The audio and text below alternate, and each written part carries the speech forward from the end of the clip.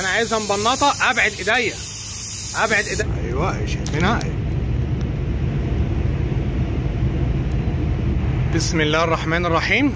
في سؤال بيقول إزاي نعمل الأورنج بيل أو البنطه بتاعه الورنيش؟ طبيعي جدا وأنت بترش هي أصلا الورنيشة بتنزل فيها بنطه بسم الله. يعني نرش مع بعض الجنب ده. الجنب ده فيه بنطه طب إيه هي العوامل اللي, بت... اللي بتتحكم في البنطه دي؟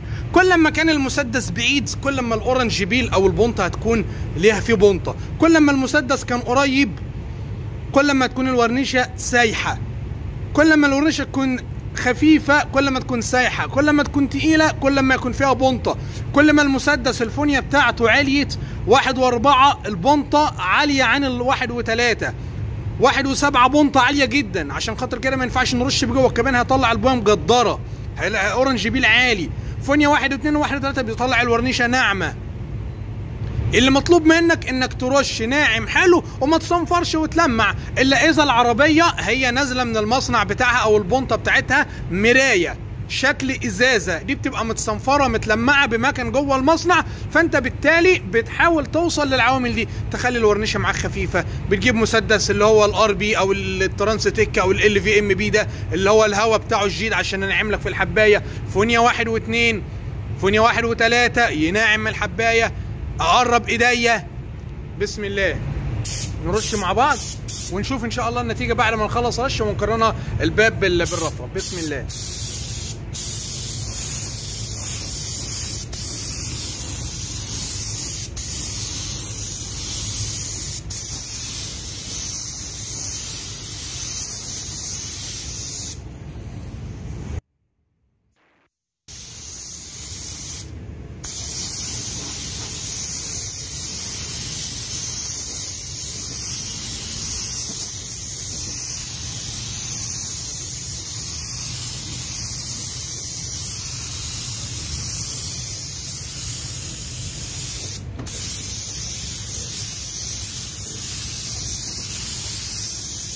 حاول تخلي أكتر كمية من الدهان تنزل على القطعه ما تعملش عفره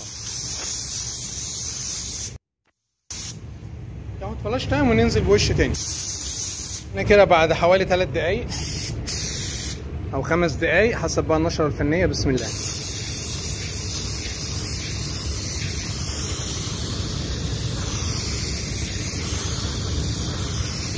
سيح الشغلانة. هي مش هتبقى ازازه ازازه يعني لو ناخد بالنا بص هي سايحة بس فيها البنطه بتاعت المصنع. طب عايزين نسيحها؟ احاول بقى إيه يكون مسدس ال في ام بي فونيا واحد واثنين أقرب إيديا أكتر أخلي الورنيشة معايا خفيفة سنة. كل دي عوامل بتسيح لكن هتوصل بيها إزازة إزازة. يعني بصراحة ده هيكون محتاج بقى صنفرة تلميع إن هم في المصنع الإزازة دي بعض الموديلات لبعض الصي... يعني بعض الموديلات في ال... ال... الشركات هي اللي بتصنفر وتلمع جوه المصنع بصن... بمكان صنفرة و interface وقصة كده. لكن مش كل العربيات بتعمل كده يعني. فانت ممكن تصنفر وتلمع. بسم الله. ده مسدس فانيا واحد وأربعة اللي هو ال Iwata راكب عليه وش WBX بص أنا عليت ضغط الهواء سنة. بص قرب إيديا.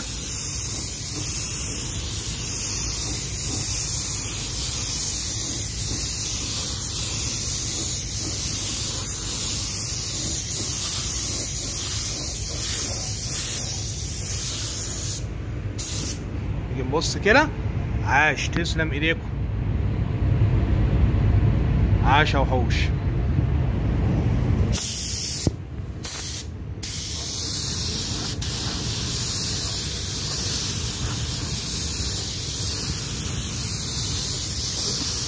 وانت عينك على شكلها. مجدره عايزة سياحة سنة قرب إيديا شوية.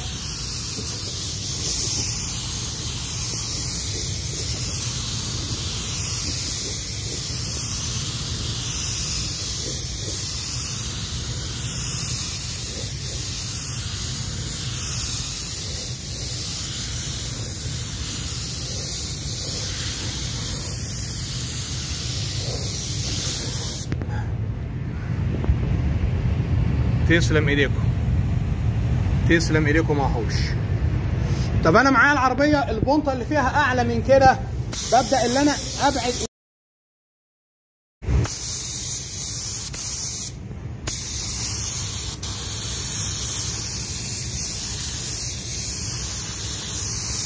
أنا عايزها مبنطه أبعد إيديا.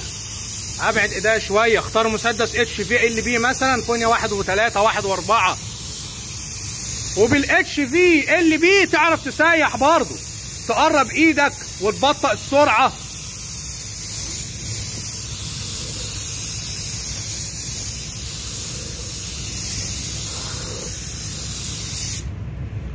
عاش وحوش. تسلم ايديكم.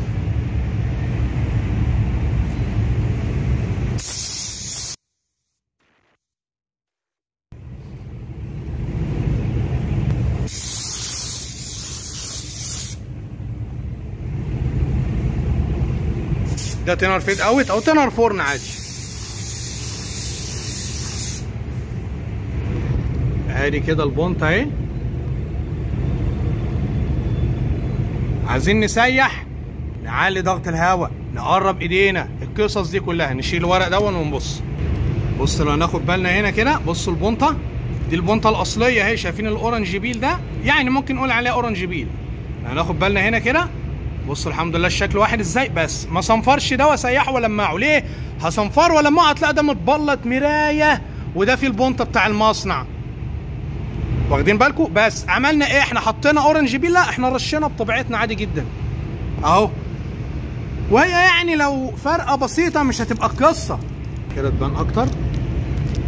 أيوه أيوه شايفينها اهي. عاش اهوش.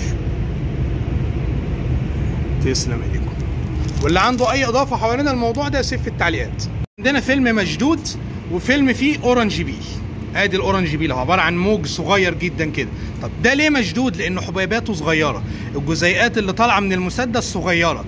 فبالتالي خلت الفيلم مشدود وسايح. طب ده الجزيئات كبيرة. فبالتالي ده الشكل ده دي هي دي ال orange peel اهي إنما هنا صغيرين جنب بعضهم. صغيرين. ال orange peel يكاد مش باين. طب عايزين ننعمها أكتر. الصغيرين دولت هم بنمسكهم نبلطهم بنخليه أملس وبعد كده نلمع. طب ده ده جزيئات كبيرة جزيئات كبيرة. كل ده orange peel.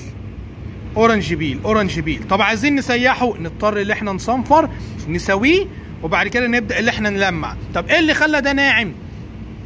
الأدي المسدس. البنته وادي الوش وادي الهواء الهواء دخل هنا الدهان نزل هنا. الهواء ده لو شديد مع الدهان يبدأ يكسر في الجزيئات خالص. طب لو الهواء ضعف الجزيئات تطلع تخينة يعمل أورنج بيل. طب بعدنا إيدينا يدينا الشكل ده. طب قربنا إيدينا يسيح أكتر. طب الفونيا واحد واتنين واحد point اتنين يدينا الشكل ده. ده ممكن يكون واحد point سبعة. فونيا واحد وسبعة. فعوامل كتيرة بتخش في الموضوع ده. أهو. يعني أنت ممكن بواحد point سبعة مثلا تقرب إيدك تجيب الشكل ده يعني بشكل تقريبي ممكن لكن صعبة يعني. لكن هنقول إيه الفكرة؟ آه ليه؟ فونيا واحد وسبعة فونيا تخينة هيطلع الدهان orange peel تخين. طب لو أنا خليت الهوا شديد اديت هوا شديد لا هيكسر هيخليها أصغر. ممكن يخليها واحد وأربعة واحد وخمسة. طب لو زودت الهوا أكتر يكسرها أكتر. الفكرة كده إن شاء الله واصلة. نفس الكلام الدهان تقيل كل ما يكون الدهان تقيل مع الهواء بيبدأ يطلع جزيئات كبيرة. طب الدهان لو خفيف يطلع جزيئات. الهواء يعرف يكسر في حاجة خفيفة يطلعها أنعم. إن شاء الله الفكرة كده تكون واصلة يا رجالة.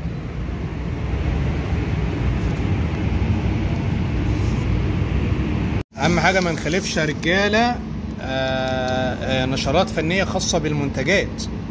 آه برضك على فكرة العربيه لما بتاخد وشين ورنيش بترو. يعني وش وش تاني؟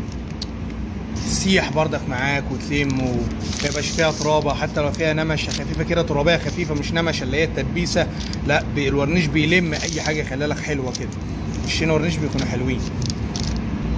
يعني وفي ناس بتقول تحاول ما تطولش وقت ال flash time عشان الورنيشة تندمج مع بعضها وكلام من ده. شغال يعني.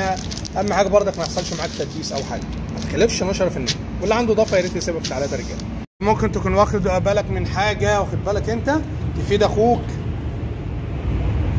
آه تسلم إيديكم يا رجاله عاش آه يعني ممكن نقول مثلا إيه العوامل اللي بتعملها؟